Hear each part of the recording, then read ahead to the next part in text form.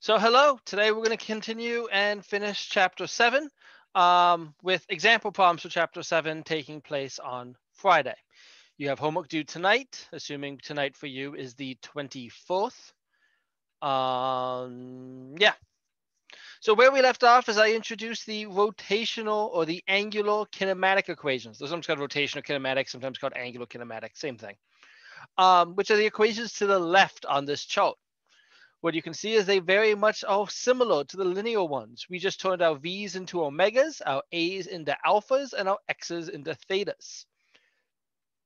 I also introduced converting between linear and rotational to the left of the spinning dog, because that's a sentence I'm saying, and centripetal acceleration. And actually, we ended with me covering centripetal acceleration and yet to do anything with it. So I'm going to start right up with an example problem. And this problem says, well, the problem's not actually written really in a good way, but discus throwers, what they do is they hold the thing in their hand and they rotate their arm. Let's say a discus throw has a length of 0.8 meters and they, I don't know why my formatting so weird here, and they turn with an angular acceleration of 50 radians per second squared what is the total acceleration at the exact moment the angular velocity is 10 radians per second? If you want to find the total acceleration, there's two parts of acceleration something moves in a circle. Tangential acceleration, where tangential acceleration is just angular acceleration times radius. So in this case would be 50 times 0.8. And there's centripetal acceleration. Centripetal acceleration being r omega squared. And so I will just go and solve for each one of these. Now, centripetal acceleration and tangential acceleration will be perpendicular from each other. But if you want to find the total, you can just add them using Pythagorean theorem. That's the general idea.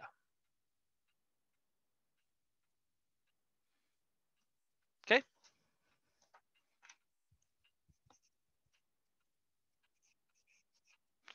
Now, that's the general idea here, but this isn't really how we're going to treat centripetal acceleration. See, for the most part, how we're going to do a centripetal acceleration is back to our favorite equation, Newton's second law. That we are going to relate all these centripetal acceleration stuff to, to F equals ma. You see, if something's moving in a circle, as we just covered, it's it has centripetal acceleration. That as I spin this, and so I'm going to change the size of something for the people live won't make any difference, but for the people at home will. That if I start spinning this, what's happening is that as it spins, and actually I want to go this way, is that as it spins, it has some velocity. If I knew it a nice constant weight, so I don't change omega or the linear velocity v, you can look at it either way, I can still say that it's moving in a circle. There must be centripetal acceleration. And what it is, is if there is acceleration, there must be force. You see, anytime you have a centripetal acceleration, that means you need a centripetal force to cause it. F equals ma, there must be an F. But the thing is, is there is no centripetal force. That is not a force. We sometimes use it, but it's just a way to talk about what force causes it. The force that causes centripetal acceleration is just whatever force happens to be causing it. In this case, doing the circle, the force causing centripetal acceleration is the tension. It's moving in a circle because the string.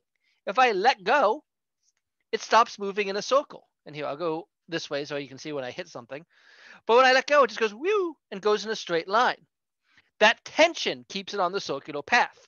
And so when you have centripetal acceleration, what you say is that it's just you're going to solve F equals ma and say you have an acceleration equal to v squared over r or omega squared r, depending on the unit you have. An acceleration pointing radially to the middle. And it could be different things. Here it was tension. Sometimes it's gravity, which seems weird, but it's true. If I um, take this die and try to spin this, and if I spin it slow, it stays on. Friction is the centripetal acceleration. That when I so past friction, it goes flying off. But as long as I go slow enough, it stays on because friction is causing it to stay on.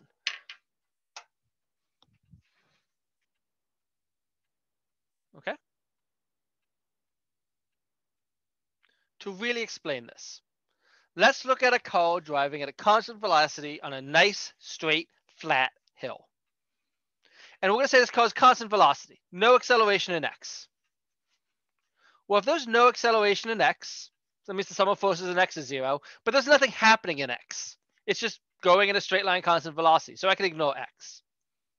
And I can say if this car is driving along a nice, flat, straight road, I can say that it has no acceleration in y. If it's driving along a flat road, it's not moving up, it's not moving down, it's just chugging along flat. And my free body diagram says that if this car, if this car is flat driving across the road like this, there's two forces acting on it in y. Gravity pulls it downwards, and the normal force holds it up. So what I can say is up minus down equals zero. Normal minus gravity equals zero. N minus mg equals zero. And so if this just flies, drives across the hill, N equals mg. There you go. And that makes sense. If you're driving on a flat road, you don't suddenly go flying up or flying down. But let's say instead this car is driving over a hill, a hill that could be approximated as a piece of a sphere. If you drive over a hill fast enough, you're probably a whale, you can go airborne. And if this is driving over a hill, I need to think about, okay, what's that going to mean for it? See, let's say still a constant velocity. If it's still a constant velocity, it still means there's no acceleration in x. And we're not doing anything in x, so that's fine. But if this is driving over a hill and it's a curve, basically, I'm saying, and I, let's say I'm looking at this from the side, I'm saying this car is going like this over the hill. That it's just going here and just making this loop around. I can say that it's moving on part of a circular path. If it's moving on part of a circular path, it must have centripetal acceleration. And centripetal acceleration always points radially to the center of the circle. So if it's going across the top of a hill, its acceleration will be negative AC. Negative because it's going to be down. It's going to be down because we're pointing to the middle of the circle. And so the last problem, I said the acceleration was zero because it wasn't going up or down. But if it's moving in a circle, there must be acceleration. The acceleration will just be negative AC. And so my Newton's second law, up minus down, I'll have n minus mg equals negative mac. Because I have the centripetal acceleration. And I can say, okay, I got to keep in mind, AC, that's v squared over r. So I can say then n minus mg equals m negative v squared over r. If you wanted to say what is the centripetal force, which once again I don't like saying, but if you really wanted to push what is the centripetal force, it's gravity. Gravity is what makes you move in the circle. Any questions though?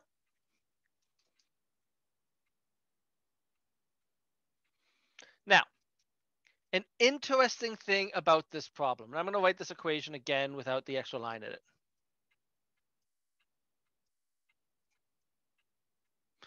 Well, actually, I'm going to do it differently. I'm going to take this last equation I wrote and I'm going to add mg to both sides. If I add mg to both sides, what I'm going to get is that it's mg minus mv squared over r, right? And what this says is that the faster you go, the smaller n gets. But logically, if m v, if v becomes big enough, n would then go negative, which makes no sense. Here's what happens. As v gets larger, n gets smaller. Anytime your n hits zero, that means you're no longer on the ground. n means there's contact. If n equals zero, it means there's no contact. And so what it is is if n hits zero, this equation breaks down because if n hits zero, this car is no longer just driving over the hill.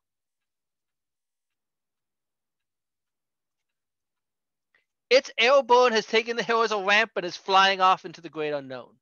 That's what that means. This is saying if you go over a hill and go fast enough, you get airborne. That's why it comes out in the math. Hell, let's solve it. Let's say that hill in question will approximate as a circle with a radius of 50 meters.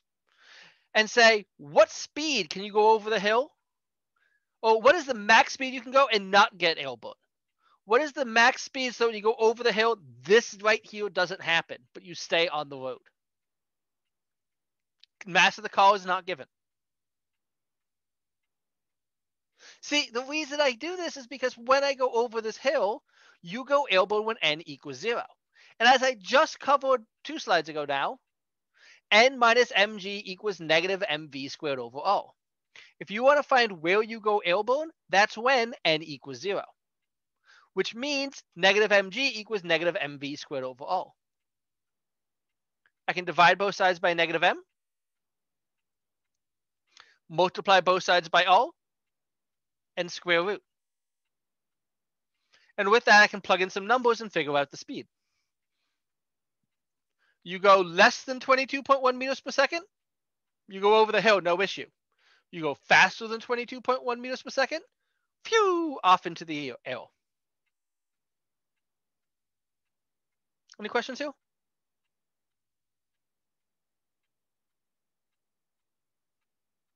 Okay. On the same note, let's say you're driving and instead of going over a hill, you're just taking a hard left turn.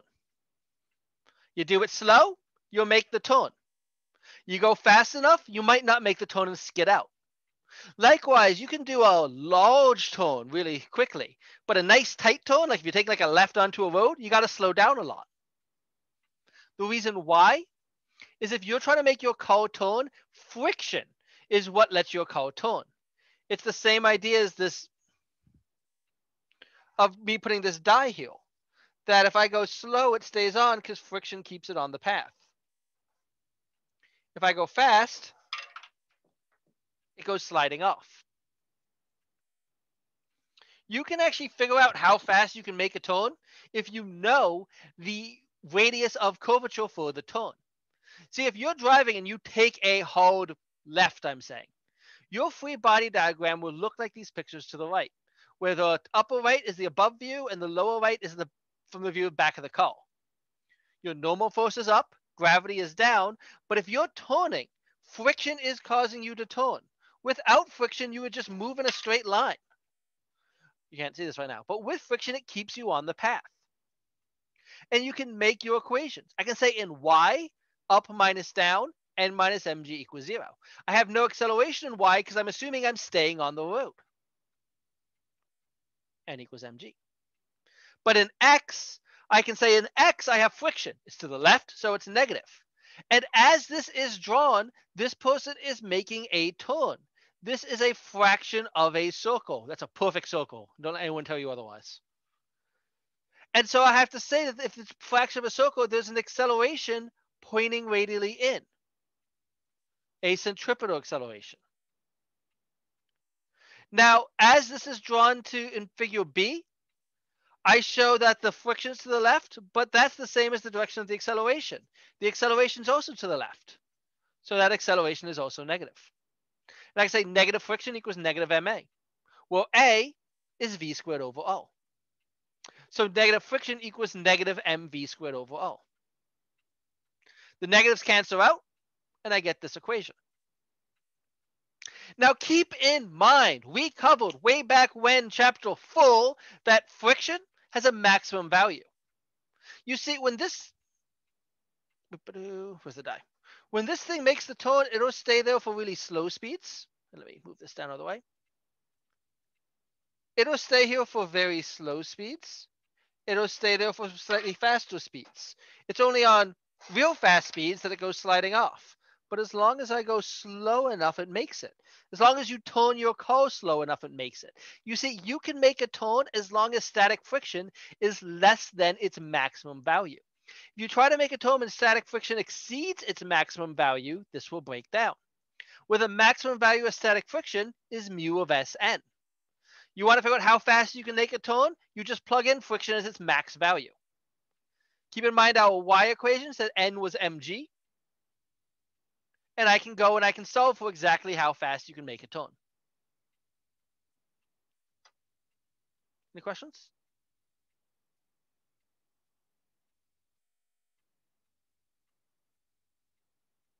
This centripetal accelerator, which again, we're not doing anything new. This is just F equals ma. It's just if you're moving in a circle, you have a new acceleration, acceleration that points inward.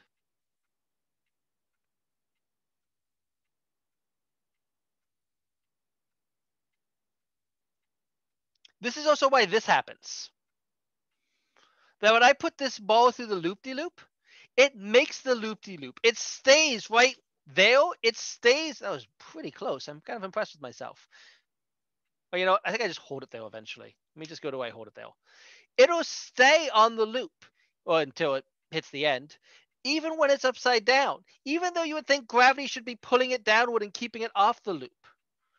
It'll stay as long as it's fast enough. If it goes too slow, like I just did there, it won't stay. But when I put it, when it's right here for that brief moment in time, it stays there right there for the brief moment in time because it's centripetal acceleration. Let me explain why.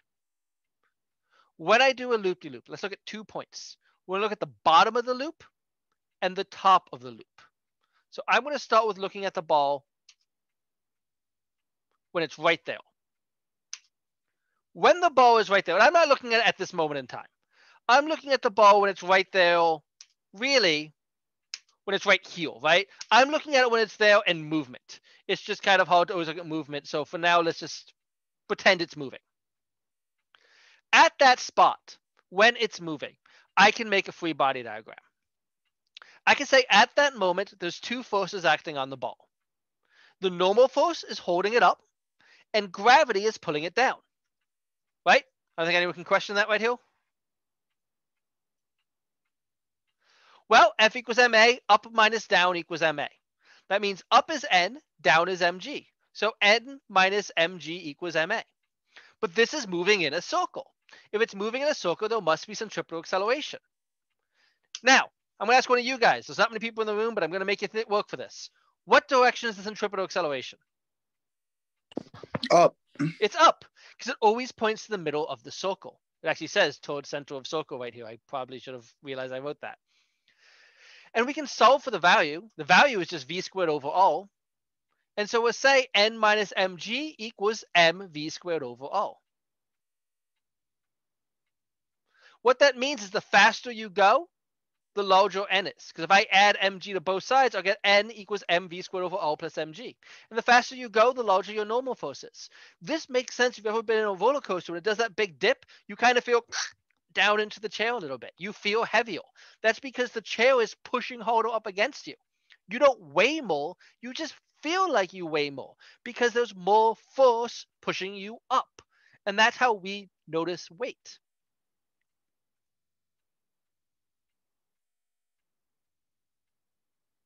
Now, if v, if n equals zero, that means you left the surface. But n can never be zero here. The smallest n can be is mg, which means you can never fall through the surface, which makes sense because even when it's not moving, it doesn't fall through the surface.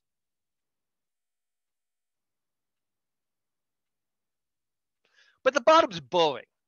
Let's look at the top. You see, when this goes through, whee, it's when it's upside down it gets interesting. When it's heel, pretend it's still moving so I'm not holding it.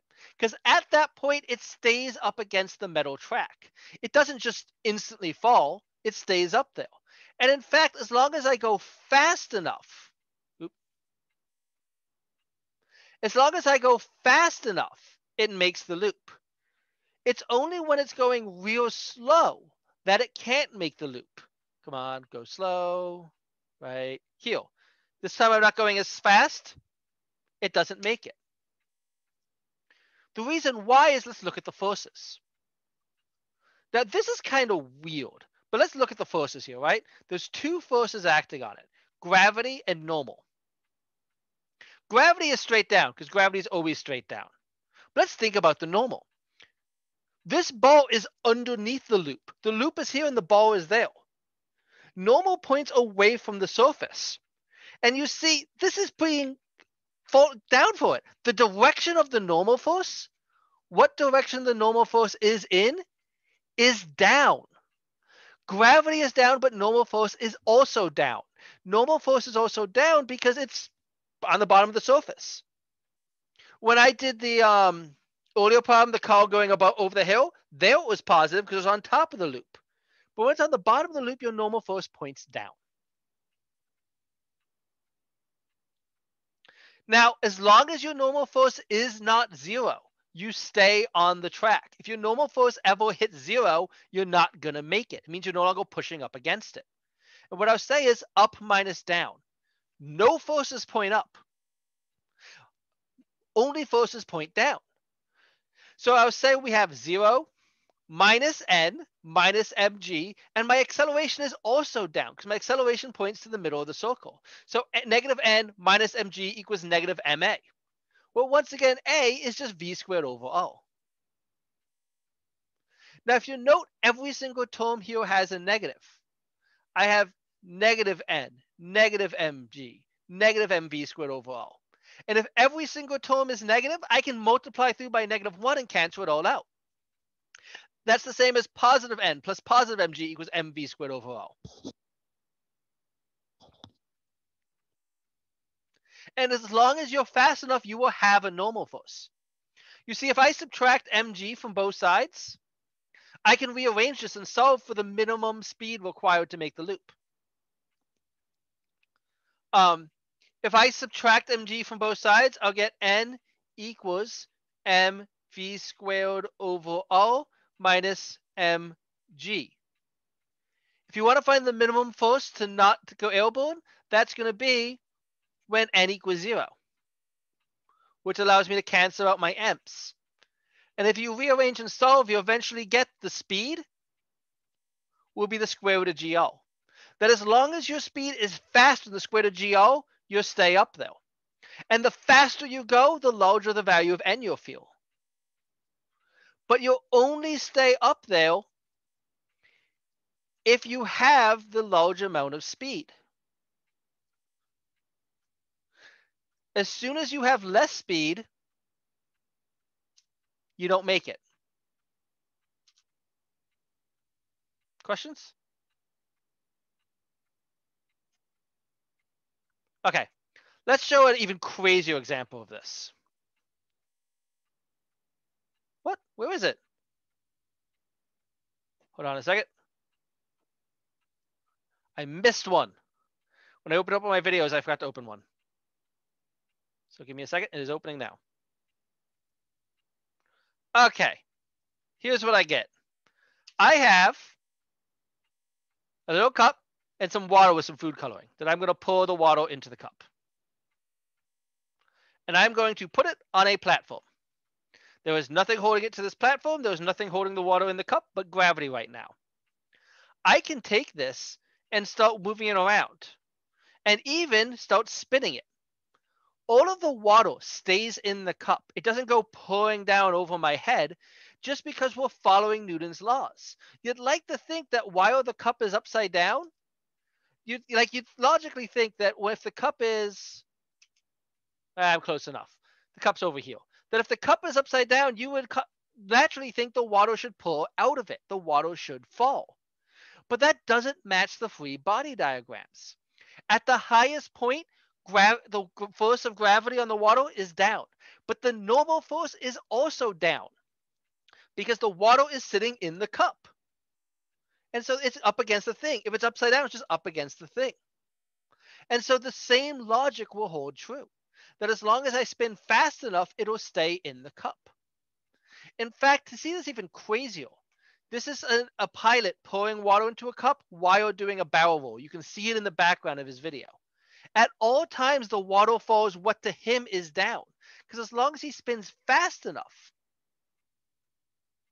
it'll have that acceleration.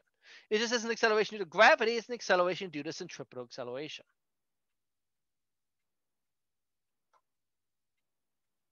Any questions?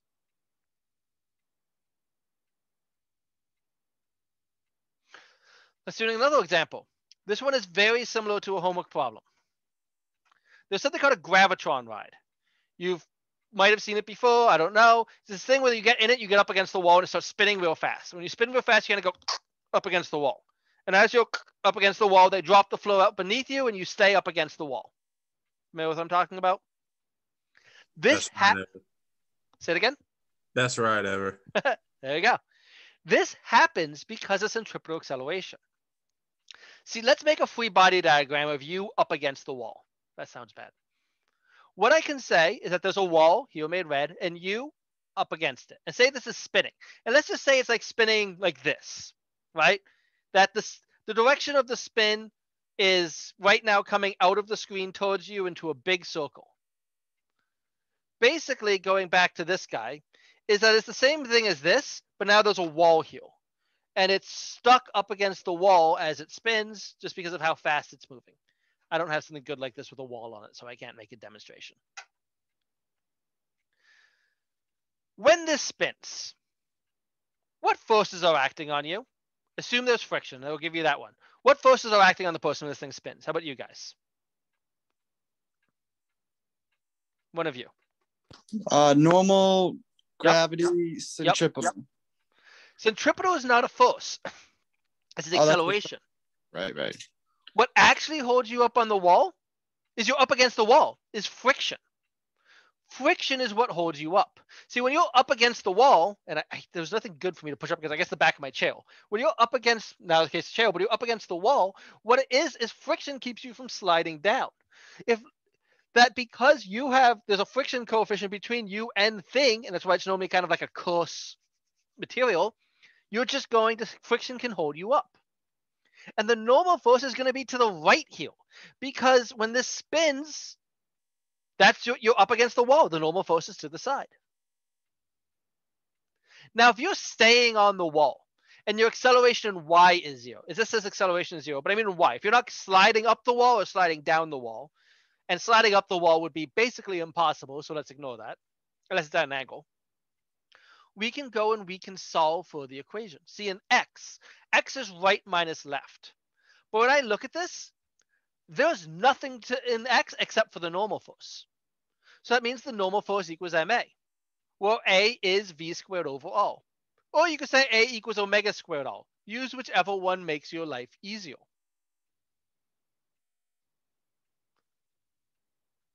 In y, y is up minus down. But if you're not going up the wall or down the wall, your y is going to be up minus down equals zero. Static, static friction minus gravity equals zero. Well, keep in mind mu of or f of s is going to be less than or equal to mu of sn. What this says is the faster it spins, the larger n is. The larger n is, the larger f of s can be. And so the faster it spins, the larger friction can be. And if it spins fast enough, friction can become strong enough to counteract gravity, as long as you move quickly enough.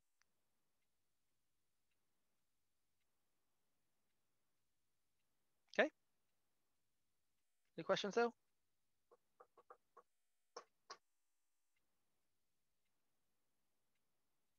Do one other example. Uh, this next one is actually a homework assignment.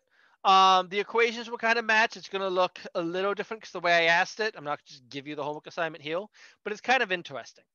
The homework assignment says that there's a puck moving in a circle with no friction attached to a rope and a mass hanging on it. And it talks about how fast the puck needs to move for the block to have no acceleration. I'm going to solve it saying, let's give it acceleration and see what happens. And I'm going to make do this, not that video. By what I have is a string going through a piece of metal that's loosely there. And I have a weight on one side and a wooden ball on the other.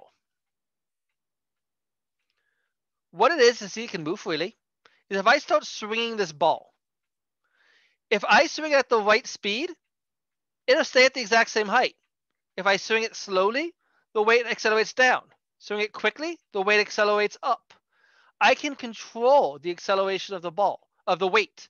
Is it going up, down, or staying in place? Just by how quickly I swing this. They'll go back up.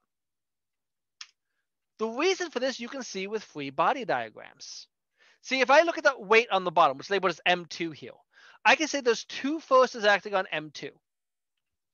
Gravity pulls it down and tension holds it up. I'm gonna go from the side.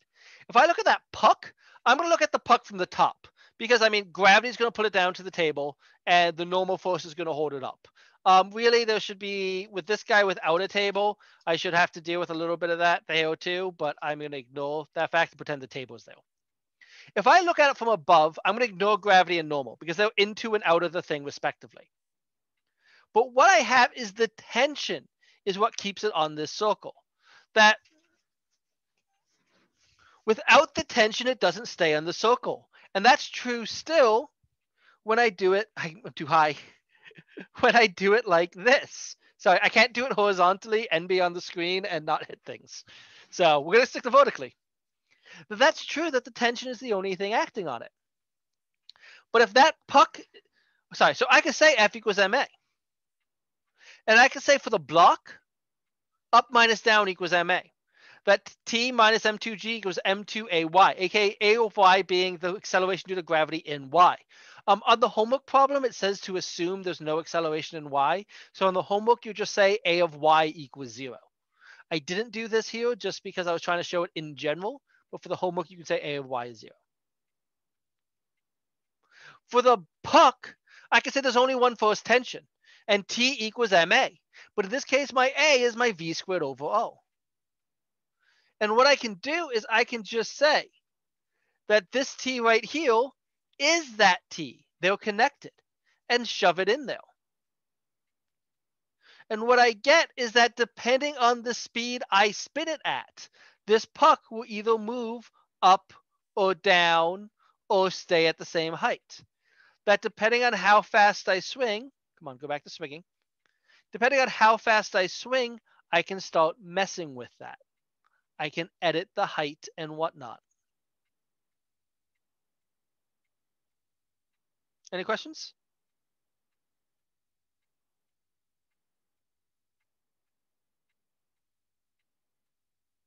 Okay. I'm going to do one more example and I'm going to fully solve this next one. This next one, if you haven't noticed, I like to play with toys. Like toys from my childhood is what I use for teaching these classes. Um, this one isn't quite from my childhood. Someone gave me this in college. But in college, I was given this Batman figurine. And this Batman figurine has a small fan on him. I think I showed in this video. And what is the small fan gives him a little bit of a force pushing in one direction.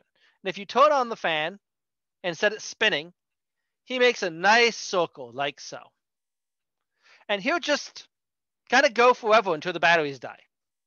Just spinning. I don't know why Batman can fly. You think Superman would make more sense? Someone gave it to me. I have no idea. So let's say I get this going, right? My questions are, and I'll get into some of the crazy shit I did with this bomb in a little bit. When this toy, I got its mass. It weighs 0.16 kilograms. And um, okay. When I first set this up, I was doing in class. I filmed me doing it and then took screenshots of the film. As you can tell, the video I have here and the screenshot to the left do not match. That's because I lost that video and made a new one. But when I first did it with this other video, which you can see the angle is vastly different. The distance of the string was 0.45 meters. And the angle he made was 45 degrees. That I measured that angle by holding a protractor up to my monitor. Not the world's most scientific way to do it, but whatever, it works.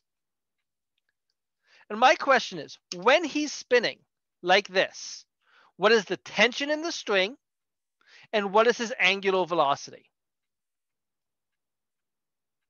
Any questions?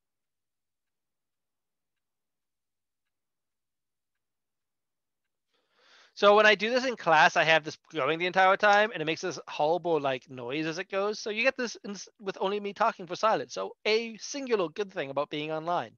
It's nice to finally have one. Here's what I know. I know his mass. I know the length of the string. And I know the angle.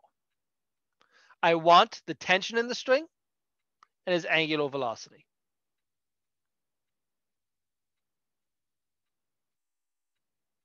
So let's solve it. See, what I can say is I can make a free body diagram. I can say what forces are acting on Batman. And I'll ask you guys, what forces are acting on Batman here? Normal gravity and tension. Close. Normal only happens when you're touching a surface. There's no Oh, normal right. here. Right. There's so just gravity and tension? Yep. There's no normal because he's not standing on the ground. There was a normal in this figure to the right, but here there is no normal. And so say, okay, gravity's down and tension's along the string. But if I use a standard coordinate system, that tension is at an angle. So I'm going to take that tension and say, screw that noise, let's break it up. Let's say, what is the tension in X? What is the tension in Y? Well, the tension in X will be T cosine theta.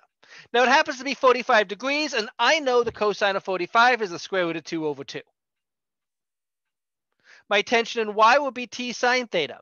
Well, I happen to know that the sine of 45 is also square root of 2 over 2. Once again, the fact it's 45 is just coincidence. I just held a protractor up to the screen. I'm like, shit, it's exactly 45. Sweet. It just made my math easy. Once I know that, I can make my force equations. Because I'll say F equals ma. But F equals ma is really two equations, one in x and one in y.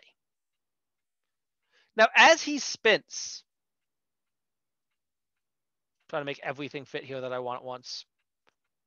As he spins, when he first starts, starts, he wobbles a little bit.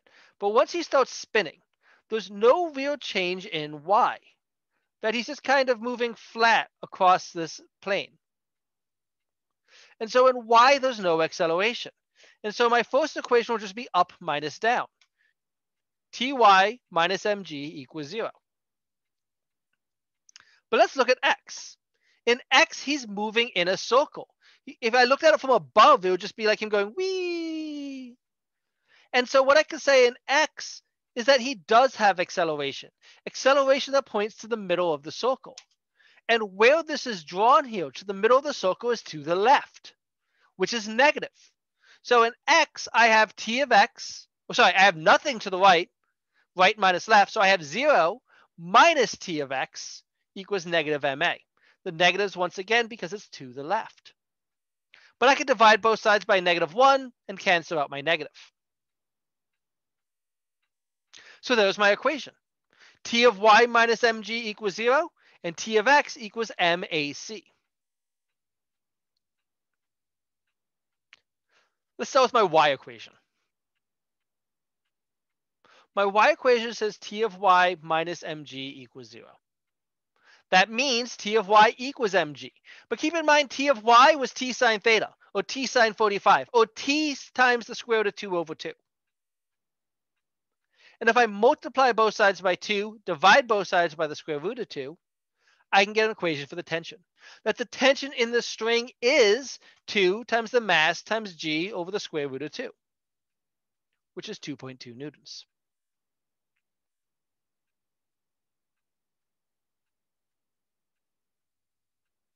Good so far?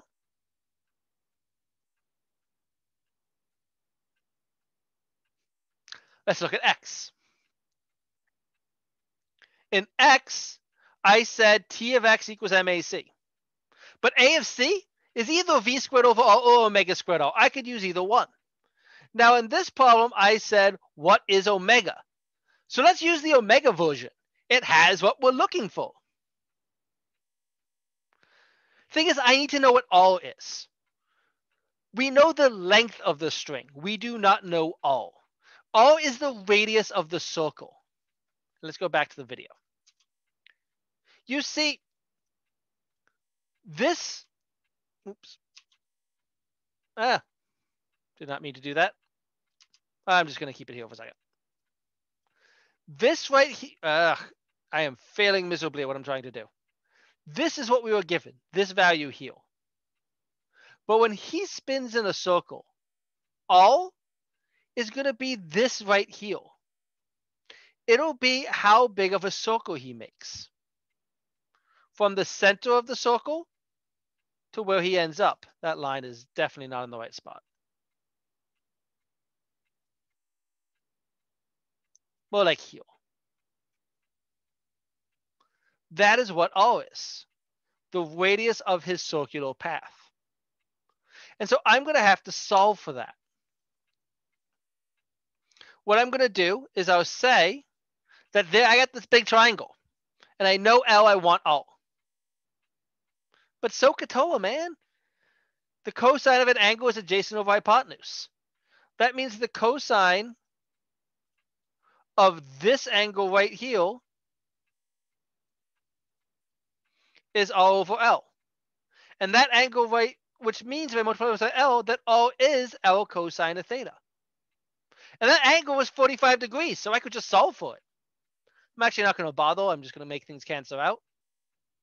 But I know that angle. See, I could just solve for r, but as I said, I'm not going to bother. And I'll just say that T of X equals MAC. That T of X equals M omega squared r. T of X is T cosine theta. So T cosine theta equals M omega squared r. But r is L cosine theta. And my cosine thetas cancel out. So I'll divide both sides by ML and square root. And by plugging in my numbers, I can solve for a value.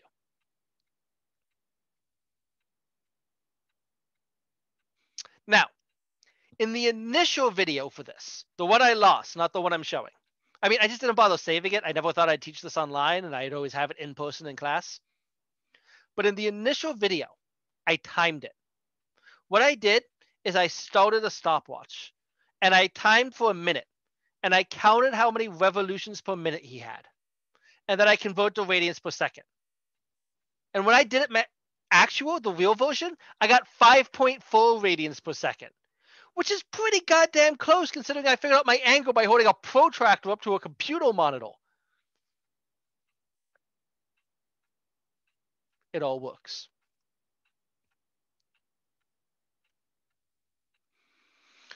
Okay, questions though?